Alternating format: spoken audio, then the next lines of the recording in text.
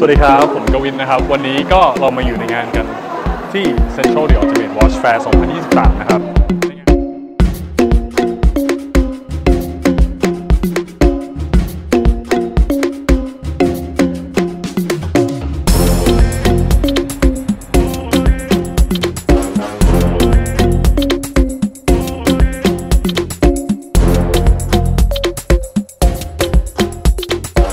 ในงานเนี่ยก็จะมี